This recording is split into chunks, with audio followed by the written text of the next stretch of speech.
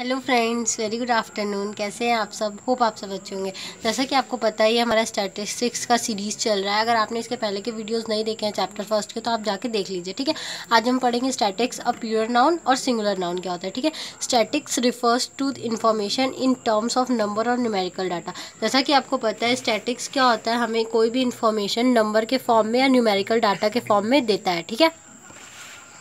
सच as population statistics और employment statistics जैसा कि आपको पता है, कोई भी पॉपुलेशन हो, कितनी पॉपुलेशन है, कितनी नई पॉपुलेशन है, कितनी पॉपुलेशन हर ईयर बढ़ रही है नंबर्स के फॉर्म में देगा, कितने लोग एम्प्लॉयड हैं नई एम्प्लॉयड हैं, ठीक है, ये भी हमें नंबर्स के फॉर्म में देगा, ठीक है? अब देख लेते हैं फीचर्स और characteristics of statistics in the plural sense और एज न्यूमेरिकल डाटा फीचर्स और कैरेक्टरिस्टिक्स क्या होता है स्टैटिक्स का? प्यूरर सेंस में, ठीक है? और न्यूमेरिकल डाटा में. एग्रीगेट्स ऑफ़ फैक्ट्स बहुत सारे एक साथ फैक्ट्स हमें मिल जाते हैं, ठीक है? न्यूमेरिकली एक्सप्रेस ये सारे फैक्ट्स क्या होते हैं? नंबर्स के फॉर्म में होते हैं। Affected by multiplicity of cause अगर हमें कोई भी एक फैक्ट मिलता है तो वो बहुत सारे कॉजेज से मिल के बना होता है, ठीक है? कि लोग गरीब है। क्यों गरीब है? क्योंकि उनको जॉब नहीं मिल रही है। जॉब क्यों नहीं मिल रही है? क्योंकि वहाँ पर कोई गवर्नमेंट अच्छी नहीं है वहाँ के लोग लिटरेट नहीं है, ठीक है? ऐसा हो सकता है। रीजनेबल एक्यूरेसी जितनी हमें ज़रूरत होती है सच्चाई की या एक्यूरेसी की, उतनी हमें मिल जाती है, ठीक है? Placed in relation to each other और हर फैक्ट्स क्या होता है? एक दूसरे से रिलेट करता है ठीक है? प्री डिटरमाइंड पर्पज़ अगर हम कोई भी फैक्ट्स निकालते हैं, पता करने जाते हैं तो उसका हमें हमारे पास पहले से कोई भी पर्पस डिफाइंड होता है, क्यों हम निकाल रहे हैं।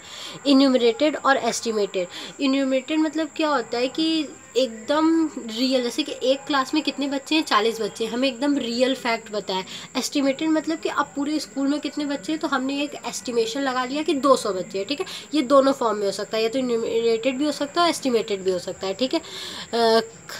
Collected in a systematic manner और इसको किस मैनर में कलेक्ट किया जाता है? एक सिस्टमेटिक ऑर्डर होता है, उसमें कलेक्ट किया जाता है, ठीक है?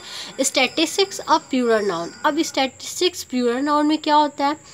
It refers to a technique और मैथड रिलेटिंग टू कलेक्टिंग क्लासिफिक classification presentation, analysis and interpretation on a quantitative data.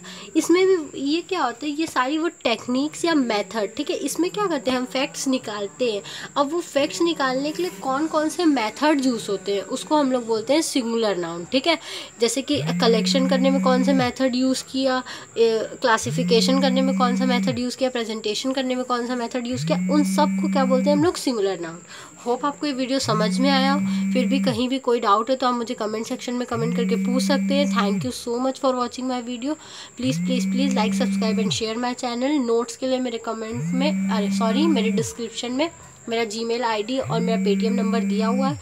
आप फिफ्टीन रुपये पर चैप्टर के हिसाब से उस पर पैसे ट्रांसफ़र करके उसका स्क्रीनशॉट लेके मेरे जीमेल पे भेज सकते हैं। आप जिस जीमेल से मुझे स्क्रीनशॉट देंगे, उसी पे विद इन वन आवर आपको नोट्स मिल जाएँगे। Thank you so much